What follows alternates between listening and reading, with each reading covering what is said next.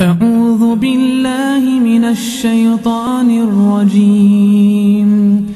بسم الله الرحمن الرحيم.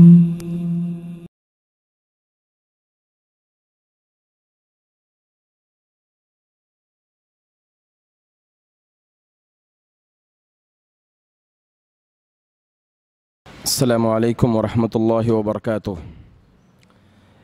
إن الحمد لله نحمده ونستعينه ونستغفره ونؤمن به ونتوكل عليه ونعوذ بالله من شرور أنفسنا وسيئات أعمالنا.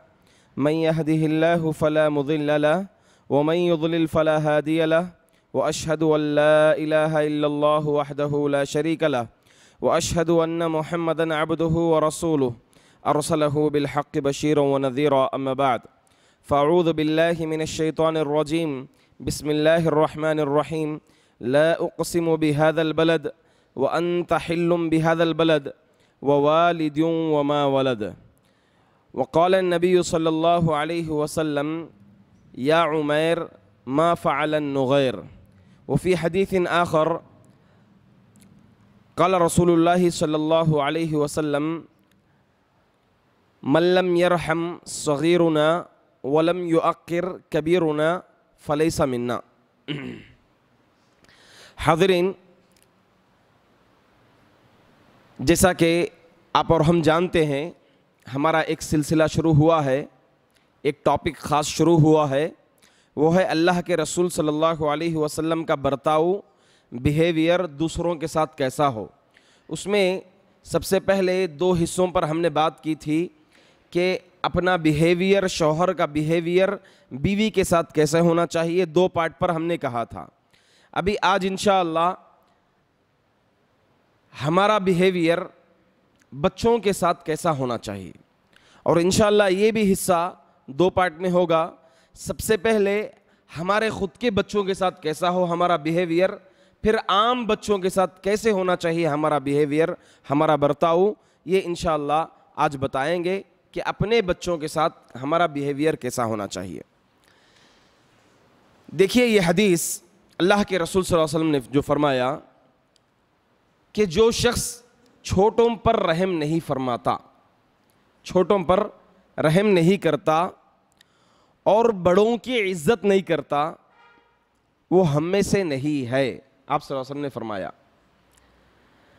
اب ہمارے پاس جو احترام ہے جو عزت ہے، وہ صرف بڑوں کے حد تک ہی ہے۔ یعنی ہر بڑا آدمی اپنے سے چھوٹے لڑکے کو یا چھوٹے آدمی کو یہ سمجھتے ہیں کہ صرف ہم سے چھوٹا ہی ہمارا احترام کرے گا۔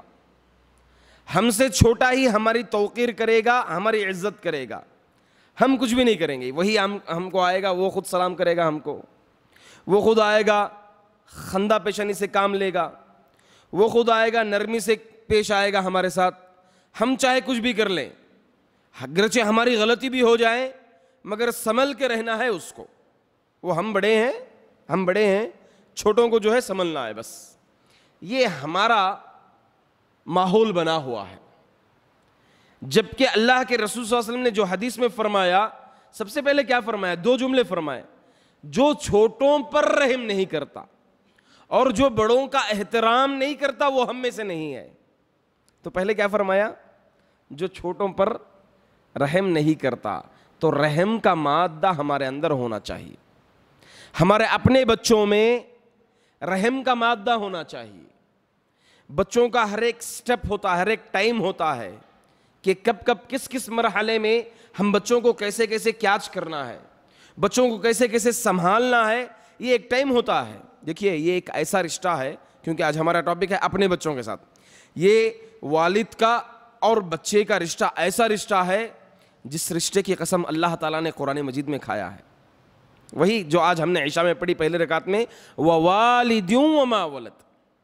والد کی اور لڑکے کی قسم کھائی اللہ تبارک تعالیٰ نے، ایسا رشتہ ہے، بہت بڑا گہرا رشتہ ہے، یہ والد کا اور بچے کا بہت بڑا گہرا رشتہ ہے۔ اسی لیے اللہ تعالیٰ نے کہا کہ بچوں کو ان کے اصل باپ کی طرف نسبت کر کے پکارو، دوسرے باپوں کی طرف نسبت مت کرو۔ اس لیے اللہ تعالیٰ نے کہا۔ تو یہ رشتہ ایک اہم رشتہ ہے۔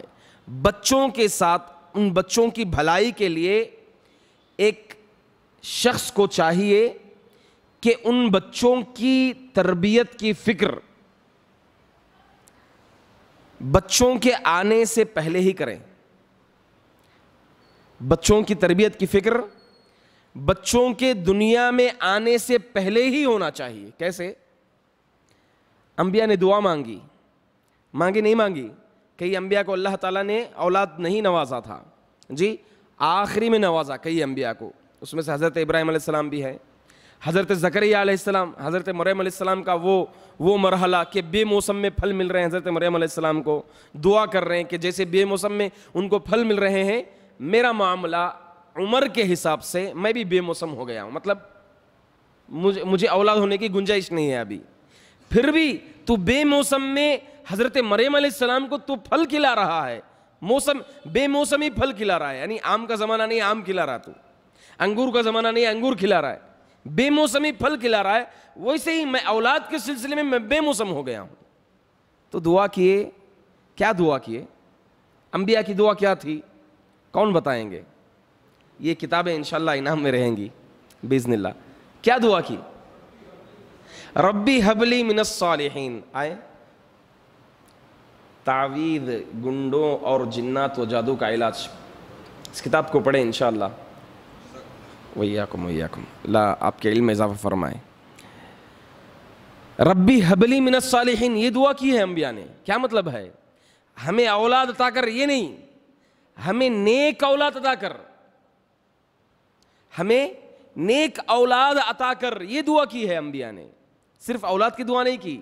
لڑکیاں ہوتے گئے تو لڑکوں کی دعا، لڑکے ہوتے گئے تو لڑکیوں کی دعا. صرف اولاد کی دعا نہیں کی، اللہ انبیاء.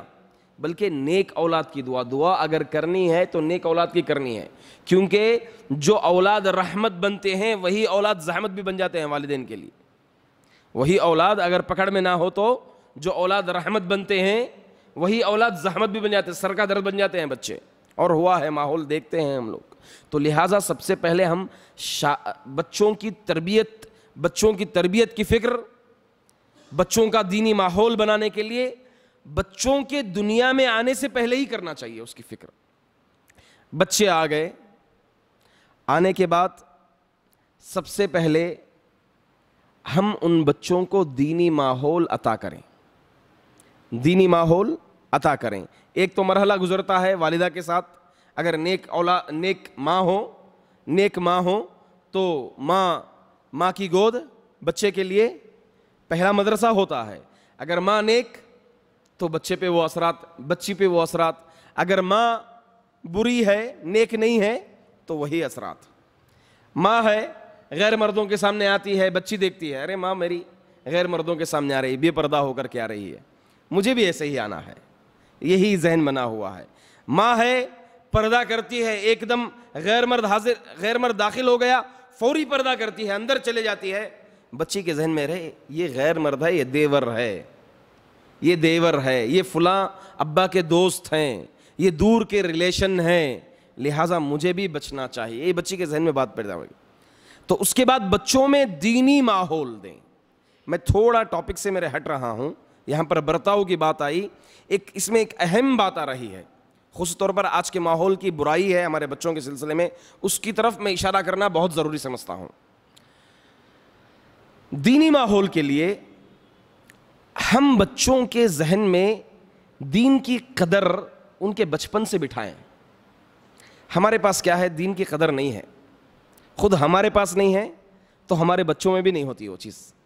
آپ دیکھیں، کمپیئر کر لیں، ایک اسکول ہے، بچہ صبح سے چار بجے تک یا تین بجے تک، دو بجے تک جو بھی ٹائم ہے اس کا اسکول جاتا ہے بچہ۔ ایک ہے مدرسہ مکتب، شام کا یہاں بھی مکتب چلتا ہے الحمد للہ اچھے پیمانے پر۔ اب دو میں فرق۔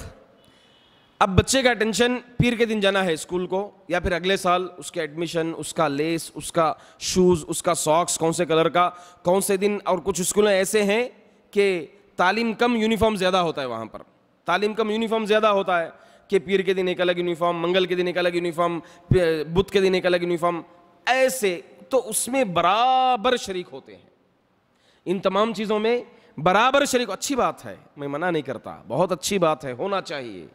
مگر یہ چیز کو اتنا مقدم کر دیے کہ یہاں پر دینی ماحول میں ہم بالکل نظر انداز کر رہے ہیں بچوں کو۔ یہاں دینی ماحول میں ہم بچوں کو بالکل نظر انداز کر رہے ہیں۔ چلو، شادی جانا ہے، عشاء کے بعد جانا ہے۔ عشاء کے بعد جانا ہے۔ میں اس لیے کہہ رہا ہوں کیونکہ میری نگرانی میں بھی ایک مکتب ہے۔ عشاء کے بعد جانا ہے شادی، تو عصر کے بعد ہی چھٹی بچ، مغرب سے عشاء تک تیار کرانا ہے بچی کو۔ بچے کو تیار کرانا ہے۔ چھٹی عصر کے بعد نہیں آئے گا بچہ۔ چلو کل بول دیں گے مولن صاحب کو، کیا مشکل ہے؟ نہیں آئے تھے، تھوڑا وہاں چلے گئے تھے، یہاں چلے گئے تھے، شادی کو چلے گئے تھے، کوئی مشکل نہیں ہے۔ کیا فرق پڑنے والا ہے؟ اب بچے کے ذہن میں کیا بیٹھ رہا ہے؟ کیا بٹھا رہے ہیں ہم اپنے بچے کے ذہن میں؟ جی یہی کہ اس کی کوئی قدر نہیں ہے۔ اللہ تعالیٰ نے جو کلام نازل کیا محمد صلی اللہ علیہ وسلم پر حضرت جبرائیل علیہ السلاۃ والسلام کے ذریعے، اس کی کوئی اہمیت نہیں ہے ہمارے پاس۔ اس کی اہمیت ہے۔ اچھی بات ہے، اس کی اہمیت رکھو۔ مگر اسے نظر انداز مت کرو یہ قرآن مجید کو۔ قرآن مجید کو نظر انداز مت کرو۔ بچوں کے دلوں میں اس کی اہمیت بنسبت اس کے قرآن مجید کی اہمیت زیادہ ہونا چاہیے۔ زیادہ ہونا چاہیے۔ اور آ جائیں ایک اور اہم پوائنٹ تربیت میں دینی ماحول سے ہم کیسے دور کرتے ہیں اپنے بچوں کو؟ ایک اور چیز۔ T V. ٹی وی کئی گھرانے غریب سے غریب گھر بھی ایسے گھرانے بھی زکوٰۃ لیتے ہیں مگر ٹی وی برابر ہونا چاہیے اور وہ بھی آج کل ڈبے بھی نہیں ہونا، بلکہ جو ہے شاشے میں شاشے میں دیوار پر لگی ہوئی ٹی وی کم سے کم وہ ہونا چاہیے۔ اگر وہ نہیں ہے تو گھر ایک دم خالی مانا جاتا ہے۔ اپنے بچوں کو ٹی وی اب کئی گھرانے ہوتے ہیں، چلو فلمیں سے رکا دیے، پروگرام سے بچا دیے اپنے بچوں کو۔ ایک چیز دکھاتے ہیں کرٹون کرٹون ایک چیز اپنے بچوں کو دکھاتے ہیں باقاعدہ طور پر۔ کیا ہے یہ کرٹون میں؟ مجھے اصل یہی کہنا ہے، اس کے بعد میں انشاءاللہ اپنے پٹری پر آ جاؤں گا۔ مجھے اصل یہی کہنا ہے آج۔ کرٹون اپنے بچوں کو دکھاتے ہیں۔ سب سے پہلی چیز، کیا یہ صحیح ہے یا غلط ہے؟ آپ لوگ بولیں مجھے۔ جواب دیں آپ لوگ۔ جی؟ غلط ہے۔ دلیل کئی لوگوں کے پاس ہے، صحیح ہے بولتے ہیں، کہتے ہیں، یا عمر ما فعل النغر اللہ کے رسول وسلم کی حدیث۔ یہ ایک ہے کہ بچوں کے یہ کھلونے ہیں، کھیل کی چیز ہے، کیا ہے، اس میں کوئی حرج نہیں ہے۔ صحیح ہے، غلط ہے؟ ادھر سے کچھ بولیں۔ جی؟ بولے بولے تھوڑا شیئر کریں۔ غلط ہے۔ آپ لوگ کیا بولیں گے پیچھے والے؟ نہیں، تھوڑا آپ باتیں اہم لیں، اس کو تھوڑا انٹرسٹ بھی لیں ان باتوں پر، اور کوشش کریں کہ ان باتوں پر عمل ہو۔ ان چیزوں پر عمل ہو، ہمارا گھرانہ یہاں سے بدلیں ہم۔ کیا ہوتا ہے، سب سے پہلی چیز، کارٹون میں دیکھ لیں، میں بیٹھ کر کے دیکھا ہوں باقاعدہ طور پر۔ اس کو جاننے کے لیے کیا واقعی صحیح ہے، کیا غلط ہے، اس میں کیا خامیاں ہیں، میں بیٹھ کر کے دیکھا ہوں۔ پہلی چیز، میں کئی چیز نوٹ کیا تھا اس میں۔ میوزک ہے نہیں ہے کارٹون میں۔ میوزک ہے نہیں ہے، میوزک ہے۔ فلموں میں میوزک ہے، کارٹون میں میوزک ہے۔ میوزک۔ اللہ تعالیٰ کیا بولا شیطان کو؟ وَاسْتَفْزِزْ مَنِ اسْتَطَعْتَ مِنْهُمْ بِصَوْتِكْ۔ جا تو گمراہ کر۔ جتنی تو طاقت رکھتا ہے تو گمراہ کر۔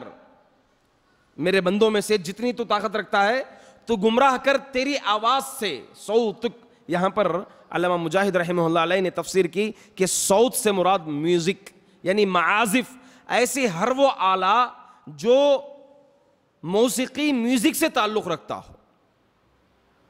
جو موسیقی میوزک سے تعلق رکھتا ہو۔ جبکہ اللہ کے رسول صلی اللہ علیہ وسلم نے کہا انما الجرس من الشیطان. میوزک دور کی بات، گھنٹی گھنٹی جس میں میوزک ہوتی ہے، گھروں میں ہوتے ہیں نا گھنٹیاں؟ جی چالو کرو بیل ایک دم میوزک الگ سی میوزک آ رہی ہے دروازہ کھولنے کے لیے۔ کار، تھوڑا بیک لے، پیچھے لے میوزک آ رہی ہے۔ فلموں کی میوزک اس کی میوزک اس کی میوزک جبکہ اللہ کے رسول صلی اللہ علیہ وسلم نے کہا انما الجرس من الشیطان. یہ گھنٹی جو ہے، شیطان شیطان کا ایک، شیطان کو ایک بہانہ دروازہ کھول رہے ہیں یہ گھنٹی کا۔ فونوں میں رنگ ٹون، ایسے ایسے رنگ ٹون، میوزک۔ جس سے کام چلتا ہے، سیدھے سادھے رنگ ٹون سے وہ نہیں ہونا۔ میوزک ایک الگ ایک الگ رنگ ٹون ہو ہمارے پاس۔ دیکھیں، سب لوگ ایک دم متوجہ ہو ارے، ان کی میوزک بج رہی ہے، ایک گانا رکھ دیے، ایک وہ رکھ دیے، ساؤنڈ رکھ دیے۔ سب لوگ متوجہ ارے، کیا رنگ ٹون ہے ان کی؟ کیا ہو رہا ہے؟ میوزک کے ذریعے سے۔ یزید رحمہ اللہ علیہ فرماتے ہیں تم میوزک سے بچو۔ اجتنبو المعازف۔ تم میوزک سے بچو۔ کیوں؟ کیوں بچو؟ اس لیے کہ یہ شہوت کو بڑھاتی ہے میوزک میوزک کس کو بڑھاتی ہے؟ شہوت خواہشات کو بڑھاتی ہے۔ خواہشات بڑھتے ہیں میوزک میں۔ جی بچہ دیکھیں۔ دیکھیں، ایک بار دیکھ لیں بچہ۔ وہ بچہ جو بالکل دیکھتا ہی نہیں کارٹون۔ اس کو ایک بار دکھا دیں کارٹون۔ یا پھر ایسے پوئمس یا ایسے نظم جو میوزک کے ساتھ آتے ہیں۔ وہ آپ دکھا دیں میوزک کے ساتھ کچھ چیزیں، بنا میوزک کے کچھ چیزیں انٹرسٹ نہیں آتا بچے کو۔ نہیں آتا انٹرسٹ میوزک ہونا بولتے ہیں، جس میں اچھی میوزک آتی ہے، وہاں دوڑتا ہے بچہ۔ اس کو کیا معلوم؟ کیا بول رہے ہیں، کیا ہو، کیا آواز سے، کیا کوئی مطلب نہیں ہے اس کو بچے کو۔ سمجھ میں نہیں آتے الفاظ اس کو۔ میوزک آ رہی ہے، بس یہی سمجھ میں آتا ہے۔